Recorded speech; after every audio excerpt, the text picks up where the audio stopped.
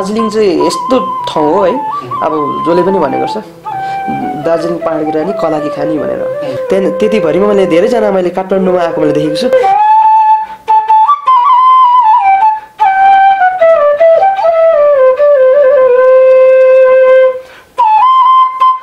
जङ्गलमा पुगेर चाहिँ मैले बजाउने गर्थेँ। फेरि तलनिर गाउँ आएपछि ब्यागमा हालिहाल्थेँ।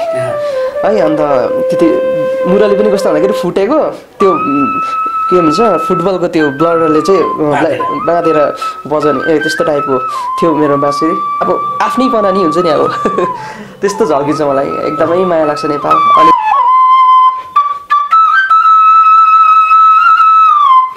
भेट्न आउँदैछु तिमी भए ठाउँमा हातमा फुला लिएर हातमा फुला लिएर दिनेछु तिमीलाई सौगात भनेर।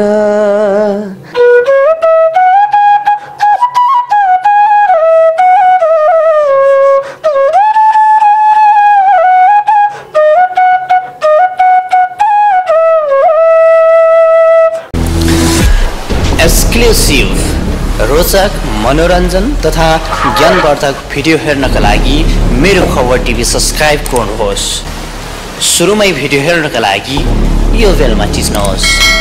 अ, नमस्कार आदरणीय दर्शक महानुभावहरू फेरि पनि उपस्थित भइसकेको छु। म हो तपाईँहरूकै हरपलको साथी इन्द्रजी विशा यति बेला मेरो साथमा एकजना अतिथि हुनुहुन्छ जो तपाईँले फ्रेममा पनि देखिरहनु भएको छ भने उहाँ चाहिँ दार्जिलिङबाट आउनु भएको छ। विशेष त उहाँ बाँसुरी वादक हुनुहुन्छ।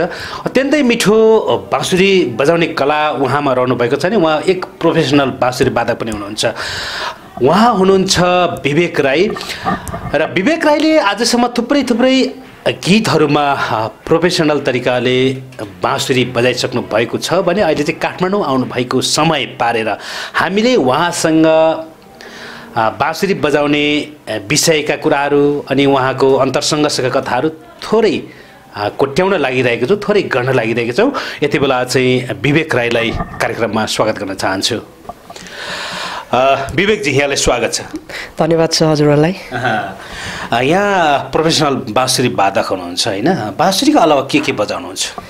बाँसुरी बाहेक म अरू गिटार पनि बजाउने गर्छु मचुङ्गा पनि बजाउने गर्छु अनि मादल दुगी तबलाहरू पनि थोरै थोरै बजाउने गर्छु जति पनि इन्स्ट्रुमेन्ट छ प्रायः म सबै बजाउने गर्छु हजुर। हामी बाँसुरीकै कुरा गरौँ न होइन? यो बाँसुरी निकै मिठो बजाउनु हुन्छ भन्ने हामीले सुनेका थियौँ होइन? र तपाईँको गीतमा पनि अथवा तपाईँले बजाउनु भएको केही गीतहरू त हामीले सुनेकै पक्कै हो। तर आज हामी लाइभ सुन्ने तयारीमा छौँ। पहिला बाँसुरीको केही धुनहरू सुनौँ केही बजाउनुहोस् हामीले सुनाउनुहोस् त्यसपछि हामी कुरा गर्ने अगाडि बढाउँछ हुन्छ हुन्छ ओके के कस कुन चाहिँ सुनाउनुहुन्छ? कुन धुन सुनाउनुहुन्छ अथवा कुन गीतको अथवा के सुनाउनुहुन्छ? म तपाईँहरूलाई सर्वप्रथम म बाँसुरीको आलप बजाएर सुनाउँछु। ए हजुर। गीत अलिक पछि बजाउनेछु। पहिला आलप बजाउँछु। है। र यो आलप चाहिँ इन्डियन क्लासिकल भनौँ है। क्लासिकल हाम्रो म्युजिकमा चाहिँ राग यमनको म आलप हस्। ओके।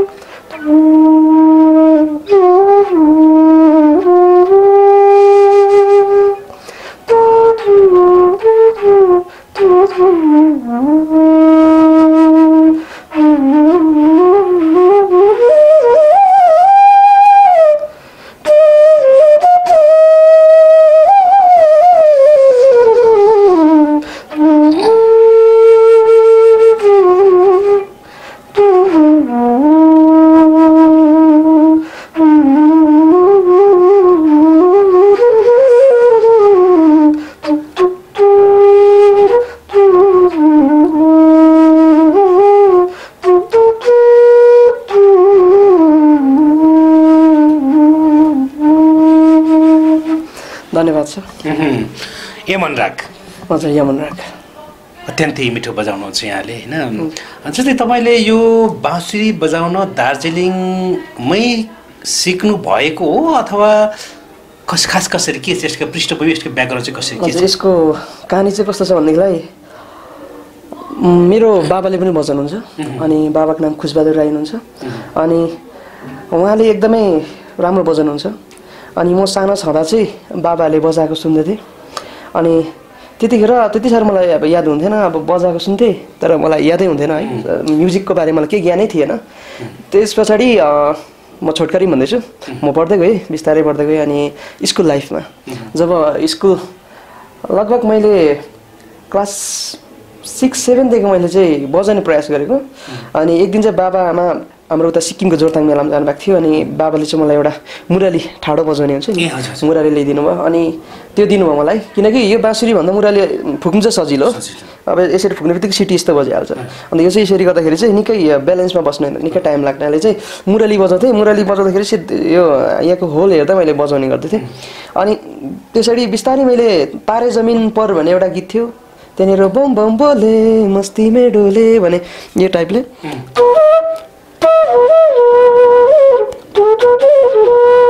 भने तारे जमिनको गीत मैले बजाउने प्रयास गरेँ। त्यस पछाडि बिस्तारै बिस्तारै मैले मेरो खास चाहिँ हामी खेतीबारी पनि गर्छौँ घरतिर अनि गोरुहरू पनि छ। अनि गोरुहरू चलाउने गर्दाखेरि त्यति बेला हाम्रो हातमा फोन थिएन है। अनि फोन नहुँदाखेरि टाइम पास के गर्ने त भन्दाखेरि चाहिँ मेरो हातमा बाँसुरी हुन्थ्यो। अनि त्यही बजाउने गर्थेँ मैले। बजाउँदा बजाउँदा बजाउँदा। अनि त्यसरी स्कुल जाँदाखेरि मैले बाँसुरी अथवा मुराली मैले ब्यागमा लगाएर जान्थेँ। अनि जङ्गलको बाटो आएपछि चाहिँ म बजाउने गर्थेँ। ताकि कसैले देख्दाखेरि चाहिँ मलाई अब कस्तो अब लाज लाग्थ्यो भनौँ न। हजुर जङ्गलमा लाग्ने। हजुर, हजुर। त्यही पनि त्यस्तो हजुर त्यस्तो खाले मलाई हुन्थ्यो। अनि जङ्गलमा पुगेर चाहिँ मैले बजाउने गर्थेँ। फेरि तलनिर गाउँ आएपछि ब्यागमा हालिहाल्थेँ। है अन्त त्यति मुरली पनि कस्तो भन्दाखेरि फुटेको त्यो के भन्छ फुटबलको त्यो ब्लडरले चाहिँ बाँधेर। बजाउने। ए त्यस्तो टाइपको थियो मेरो बाँसुरी। ए मुरली। अनि त्यसरी लगातार मैले बजाउने गर्थेँ। बजाउने गर्दाखेरि अनि बाबाले बजाउँदाखेरि बाबाले बजाएको एक दुईवटा धुनहरू चोर्ने कोसिस गर्थेँ भनौँ है सिक्ने कोसिस गर्थेँ। अनि बिस्तारै बिस्तारै एकजनालाई गाउनु लगाउँथेँ। अनि म त्यसलाई उसको गीतलाई सुनेर मैले फलो गर्ने कोसिस गर्थेँ। अनि त्यसरी बढ्दै बढ्दै बिस्तारै बिस्तारै क्लास टेनको हुँदाखेरि मैले एकपल्ट स्टेजमा एउटा मैले आँट गरेँ क्या गर्ने। बजाउने आँट गरेँ। त्यति बेला चाहिँ मैले एउटा गीत बजाएको थिएँ माइती घर भन्ने म तपाईँलाई सुनाउने छु अनि त्यस पछाडि म क्लास टेन पास गरेर हाम्रो एचएस भन्छौँ हायर सेकेन्ड्री उता बिजनबारी भन्ने ठाउँमा गएँ। किनकि बिजनबारी चाहिँ मेरो लाइफको अथवा मेरो म्युजिकल जर्नीको चाहिँ त्यो चाहिँ मेरो पहिलो स्थान हो भनौँ। किनकि त्यहाँनिर चाहिँ मलाई धेरै एप्रिसिएट गर्ने मान्छेहरू भेटाएँ अनि सरहरू हुनुहुन्थ्यो साथीहरू हुनुहुन्थ्यो अनि उहाँले तैँले बजाउनु सक्छस् भन्ने उहाँले मलाई एप्रिसिएट गर्नुभयो। अनि विशेष गरेर म गाउने पनि गर्छु। मैले बाँसुरीभन्दा पहिला चाहिँ स्कुलमा चाहिँ गीत गाएको। अनि गीत गाउँदाखेरि सरहरू इम्प्रेस हुनुभयो है। अनि त्यसरी बिस्तारै प्रोग्रामहरू टिचर्स डेहरू आउँदाखेरि त्यति बेला चाहिँ यसले बाँसुरी ए बजाउँछ भनेर चाहिँ मलाई प्रोग्राम लाग्यो। हजुर। तपाईँहरू जस्तो तपाईँहरूको पुर्खा चाहिँ नेपालबाटै दार्जिलिङ गएको नै होला सायद होइन? हजुर मलाई चाहिँ के लाग्छ भन्दाखेरि हुनु त मलाई थाहा छैन है पुर्खाहरू कहाँबाट आउनुभयो? मलाई तर जति पनि दार्जिलिङमा भएको नेपालीहरू हुनुहुन्छ नेपालबाट नै जानुभएको। किनकि दार्जिलिङ पनि पहिला नेपालको हो। नेपालबाट जानुभएको होइन नेपालकै हो भनौँ न। है अब पछाडि के के के भएर है अब पोलिटिक्सले गर्दाखेरि यता। हजुर उता पर्नाले गर्दाखेरि चाहिँ के भन्छ लोखिम लोखिम भन्ने एउटा यहाँनिर काठमाडौँ कतानिर अब नेपालमा है कहाँनिर छ लोखिम भन्ने एउटा ठाउँ छ अरे। हाम्रो सुनेको मैले पुर्खाहरू चाहिँ अन्त। लोखिम भन्ने ठाउँबाट चाहिँ आउनु भएको अरे भनेर चाहिँ मैले थोरै लखिम कि बखिम? लोखिम। थुलुङ हो थुलुङ हजुर। लोखिमबाट चाहिँ हाम्रो पुर्खाहरू हुनुहुन्थ्यो अरे लखिमबाट चाहिँ। हजुर। ए त्यहाँबाट तपाईँ तपाईँ थुलुङ राई। थुलुङ राई हजुर.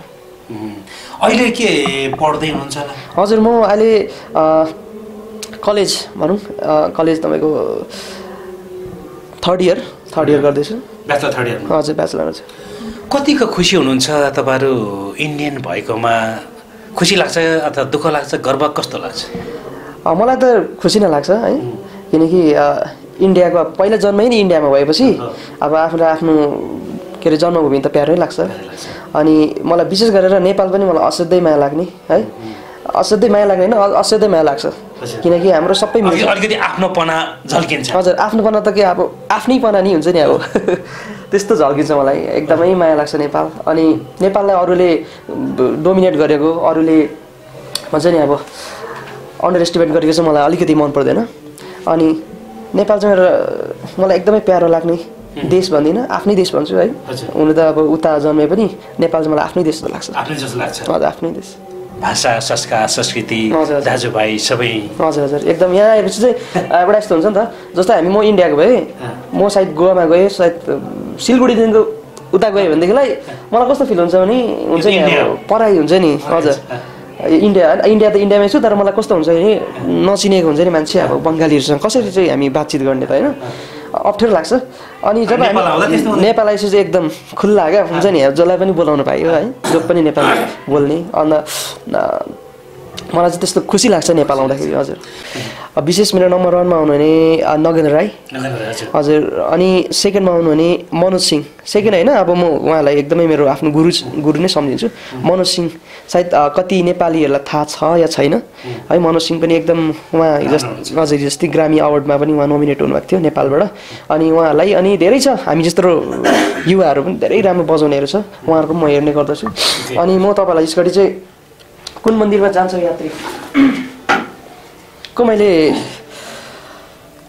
फुल्ली मैले न मैले के अरे फुल्ली नजाने पनि म प्रयास चाहिँ गर्नेछु। स्थायी र अन्तरा बजाए पुग्छ। पुरै बजाउनु पर्दैन।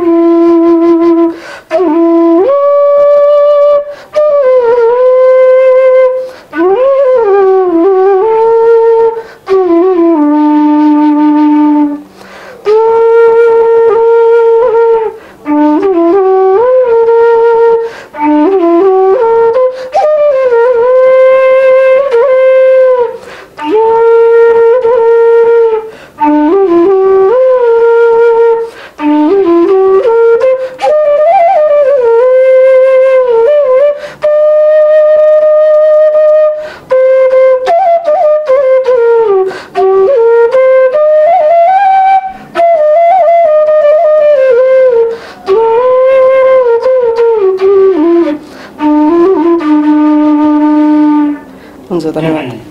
कुन मन्दिरमा जान्छु यात्री? यो गीत पनि गाउनु थियो पहिला है हजुर अलिअलि यति साह्रो हजुर।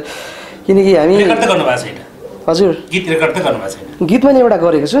मैले दुइटा गरेको छु है। एउटा चाहिँ रिलिज नभएछ एउटा मैले गरेको छु पप सङ छ। त्यो पनि सुनौ न अलिकति कस्तो छ? हुन्छ म तपाईँलाई अलिकति रुगा मार्गीले गर्दाखेरि है यहाँनिर हजुर। यहाँ कोरोना भाइरसको एकदम डर लागिरहेको छ। सो मेरो गीत चाहिँ पप गीत छ।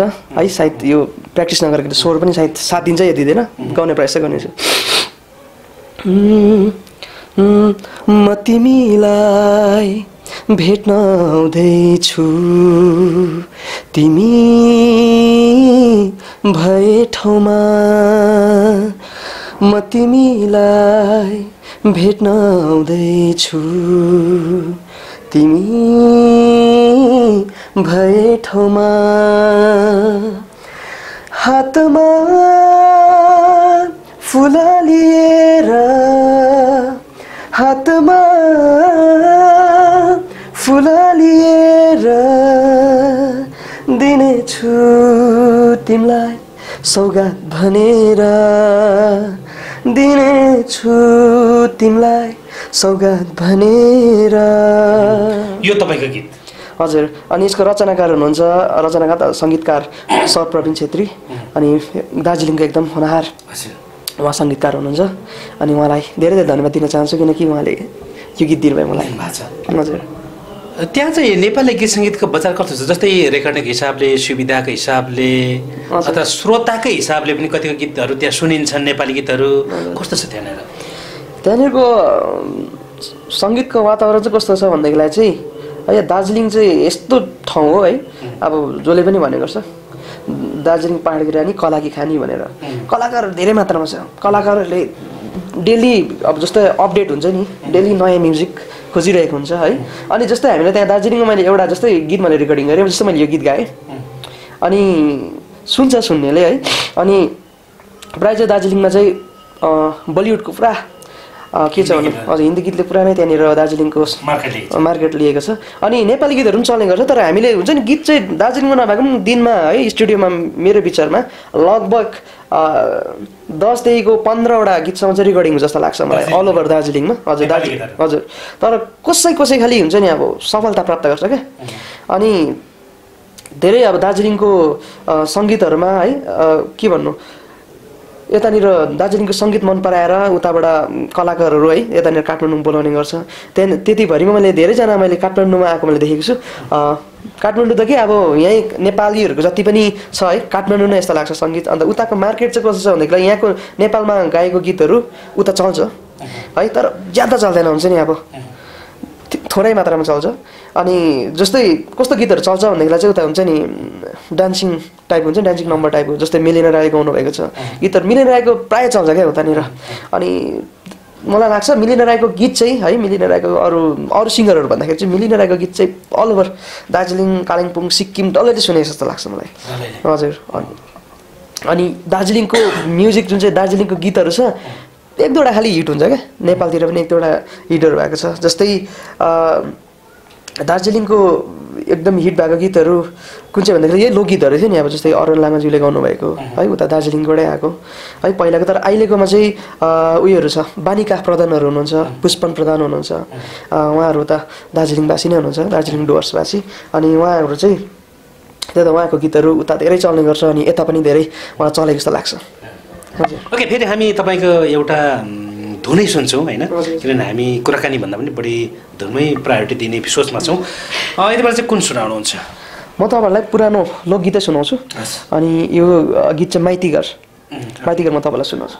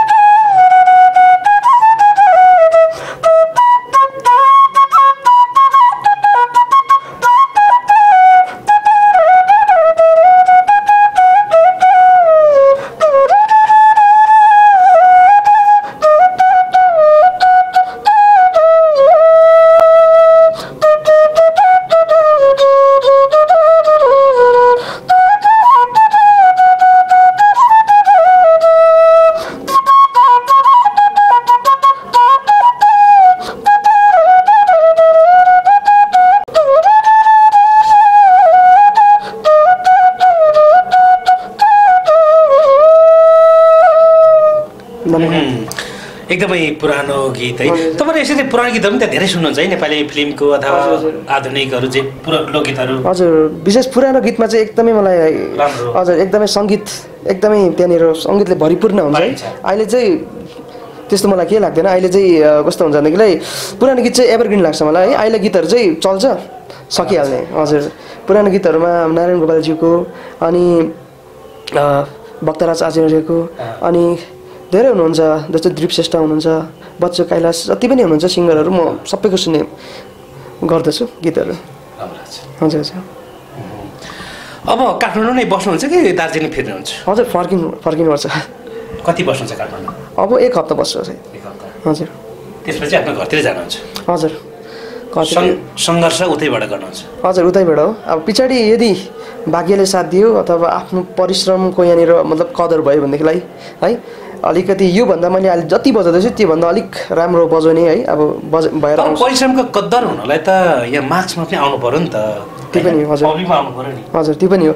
मलाई लाग्छ हजुर त्यो पब्लिसिटी हुनुमा है अब पब्लिसिटी हुनुमा केही पनि छैन जस्तो लाग्छ। पब्लिसिटी हुनु त एकैछिनमा मान्छेहरू है अब अहिलेको म हेरिबस्छु हजुर सञ्जालमा एकदम फेमस भइहाल्छ। तर फेमस मलाई हुन्छ नि अब फेमस हुनु मन लाग्दैन भनौँ न अब।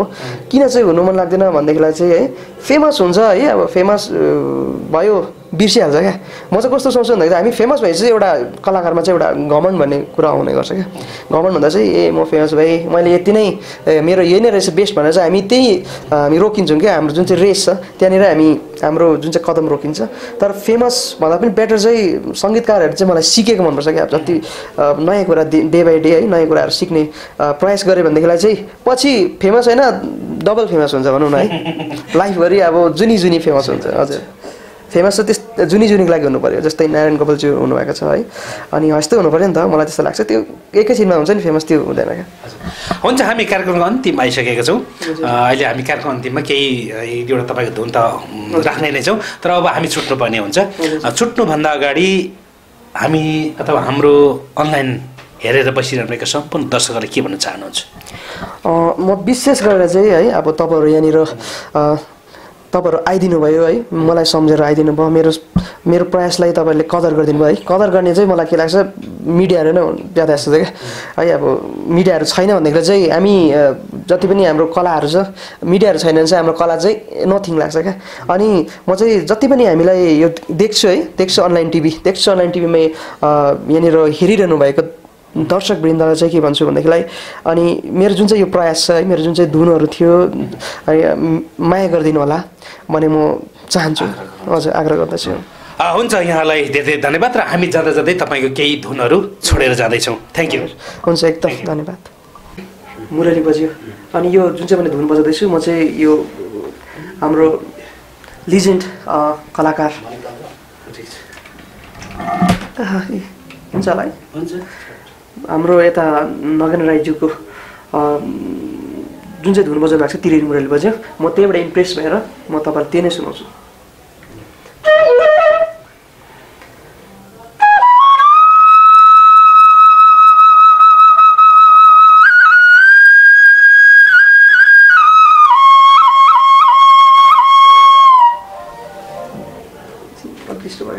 सरी रिगर्स ल। राख्नु न भन्छ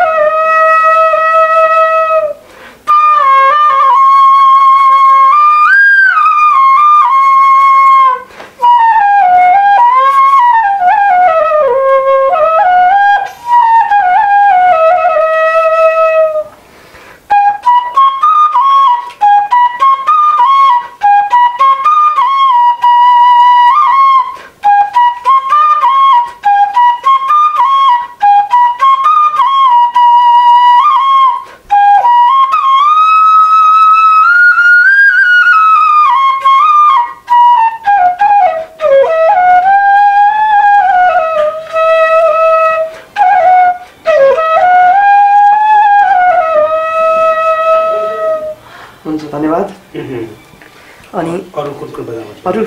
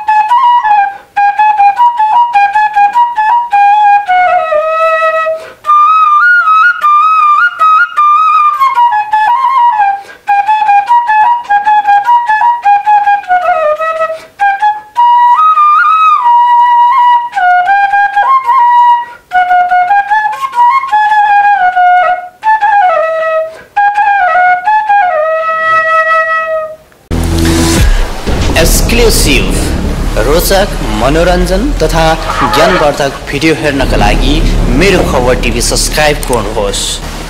सुरुमै भिडियो हेर्नका लागि यो बेलमा चिच्नुहोस्।